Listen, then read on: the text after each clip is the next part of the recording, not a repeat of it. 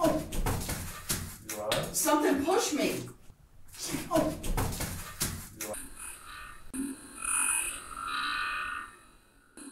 was very, there was a lot of power, there was a lot of force behind that push because it pushed me over. I had lost my balance, and I've never had that Before this shadow mist moved into this crawl space, an EVP was captured under the house.